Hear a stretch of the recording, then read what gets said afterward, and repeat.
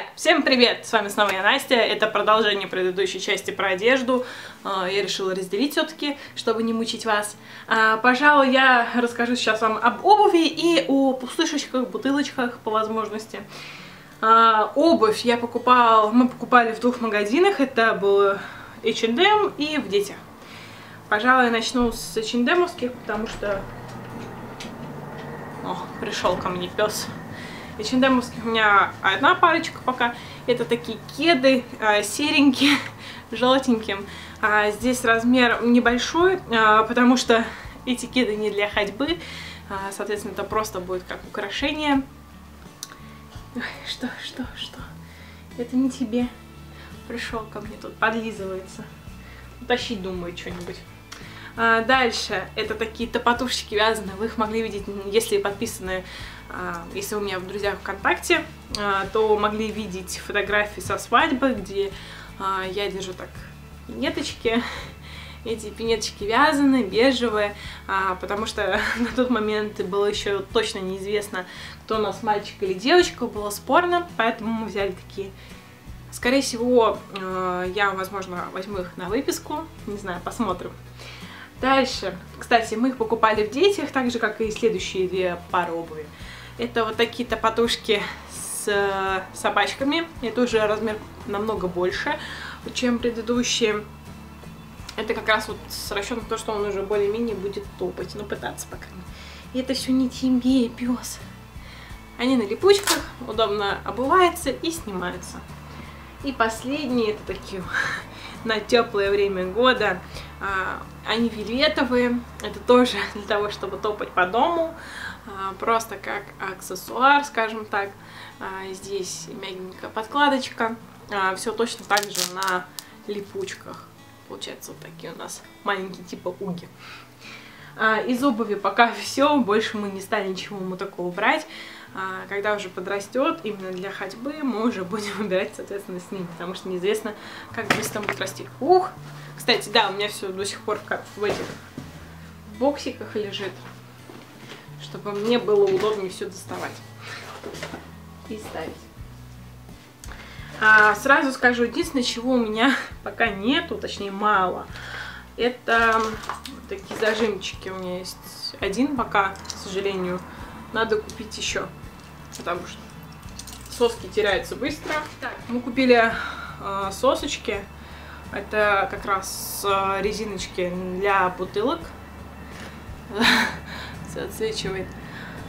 Они с э, удобной соской. Также можно будет потом с бутылочки одевать на поильник. Э, в принципе, по-моему, покупали в аптеке. Ценника нет, не могу вам сказать, сколько это обошлось. Также у меня термометр подводный, потому что э, я в любом случае на локоть, если даже буду измерять, мне лучше перестраховаться и воспользоваться точными данными. А стоил он, кстати, 110 рублей, очень дешево. Опять же, все в аптеке. Далее. Сосочки мы покупали в магазине Дети, и некоторые были в аптеках. У меня все разного вида, потому что неизвестно, какие соски подойдут. А, у меня есть... Сейчас я вам сразу достану. На, кстати, про крепленницу у меня есть еще божья коровка. Соответственно, у меня пока только их два. Это маловато будет. Мне нужно больше, больше сосок, больше креплений. Мне надо, чтобы всего было много. Итак, пожалуй, начну с простых. Их я еще не распаковывала, потому что нужно будет прокипятить. И вот уже, а, скажем так, перед роддомом а, я их возьму. Соответственно, соска простая. А, здесь она больше такая приплюснутая с двух сторон. Почему? Потому что не факт, что малышу подойдет обычная круглая соска, либо с одним, знаете, скошенным таким боком. А, поэтому она такая более а, мягенькая. Ну, хоть здесь написано, что она классическая, я так не сказала. Далее у меня идет такая же совсем простая, вообще для новорожденных. 33 рубля, соска. А, блин, открыть показать. Круглый кончик. абсолютно круглая пипеточка, совсем стандартная, а, потому что я не уверена, подойдет так, подойдет ли нам а, что-то одно быстрое, либо нет. Также у меня есть специальные соски в чехле. А, здесь а, примерно форма похожая. Блин, да что ж такое? Тоже здесь у нас зайки с одной стороны. А здесь как раз приплюснутый край. А, видите? Один приплюснутый край, я бы его так назвала. А, есть, кстати, чем удобно, что есть э, чехольчики такие, и соска закрыта. Также у меня из этой же серии, это тоже в детях, э, более овальная. Простая форма, скажем так, после той круглой. Так, попытки закрыть. Мне всегда все очень плохо заканчивается. Вот, закрыла. И вот самая тяжелая соска. А, здесь тоже, видите, такая приплюснутая. В принципе, они все у меня а, две одинаковые формы, все остальные все разные формы. А, просто уже исходя из того, какая соска подойдет в роддоме, я смогу просто попросить родных купить мне нужные мне сосочки и не мучиться. Далее у меня тут опять же насадки, это ивентовские уже, здесь даже ценник остался, я говорю, я еще не кипятила. А здесь э, обычные насадочки, сколько она, две капельки, два потока. А, и у меня есть э, тоже вот с разными формами, опять же, как вот те а, две соски. Э, так, так, так, это комфорт, Кэмпл. Здесь тоже 6 месяцев плюс, это уже на вырост, а, две капельки. У меня просто разные сосочки, потому что на разные времена, допустим, какие-то вот для чашечек, какие-то для бутылочек, какие-то бутылочки уже входили в комплект сосочки. А, тут у меня одна гуляет откуда-то. А, кстати, да, сразу мы купили прорезыватель для зубков, а, потому что очень много таких, знаете, э, широких, а здесь такие мягенькие, тоненькие, а, для вот как раз с самого начала, от 4 месяцев. Также у меня есть такая штука, я думаю, с ней уже знакомы родители, которые детишки постарше, которые начали кушать фруктики, ягодки. Это э, система для подачи ягодок, скажем так. Пока он э, не может есть э, ягоды сам, ну, имею в виду большие куски, может проглотить, есть специальная такая штучечка, надевается, сюда вставляется оранжевую сеточку, вставляется ягодка, допустим, клубничка, заворачивается и дается малышу. И малыш ее так жамкает.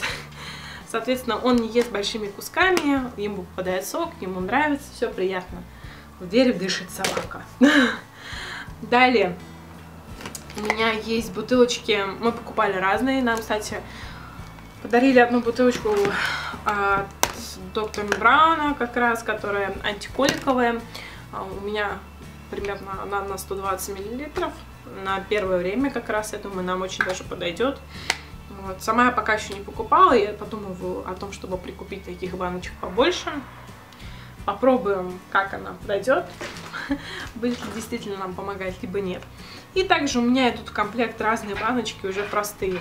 А, побольше объемом, скорее всего, я буду использовать ну, для начала, для начала кормления там, для чая в дальнейшем. Также у меня большие баночки э, с простыми насадками на уже 240 миллилитров.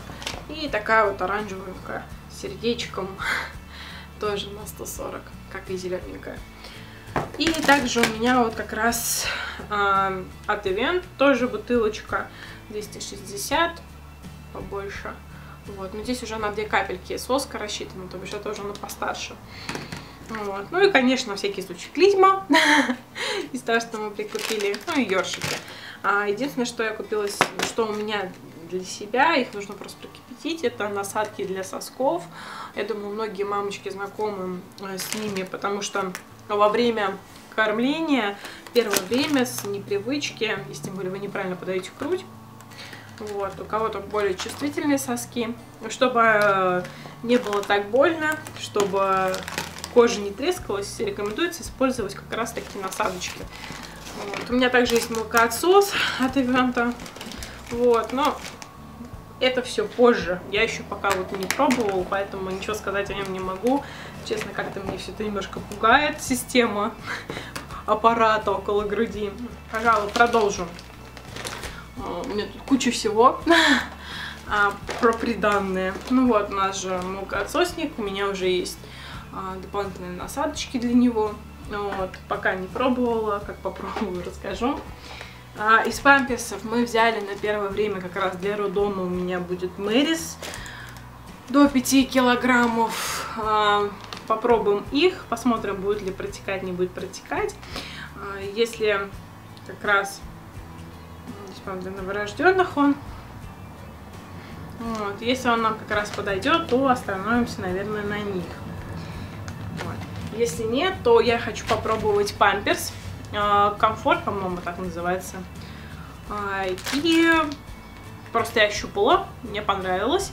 Ну и как раз там сейчас акции идет, допустим, в детском мире, если вы часто ходите, либо задумываетесь, как раз вам тоже нужно уже для роддома покупать для малыша памперсы, а, то сейчас там как раз идет большая такая акция для вот новорожденных. У них памперсы, упаковка большая, стоит сейчас, по-моему, в районе 600 рублей вместо 1000. Мы взяли также еще Huggies Lift Soft, такие вот а здесь у меня на 5-9 килограммов. Вот если у меня будет крупненький малыш а, на дальнейшее, скорее всего. Также вот я хочу взять вот эти в роддом и вот купить как раз памперс. А потом уже после памперса как раз попробуем и хаггис. Что у меня две пачки памперсов в заначке. Я уже готова к роддому. Осталось только вот самое важное дождаться малыша. Далее мы купили уже заранее э, уходовую некоторую косметику. Соответственно, присыпка у меня Johnson's Baby. А, я сама пользуюсь так, данной присыпкой. Здесь просто она обычная, а есть еще розовенькая. У меня вот розовенькая для себя и для малыша маленькая без запаха. Также есть присыпка крем от прелости. Это солнышко. А, мое солнышко. Простой крем. Как раз э, в случае вот в роддоме буду его, наверное, использовать под памперс. И также у меня еще много косметики, которая там осталась в комнате у родителей. Ну вот как раз средства для купания и молочко. А, все это шло в комплекте от э, Мой немецкий ужасен.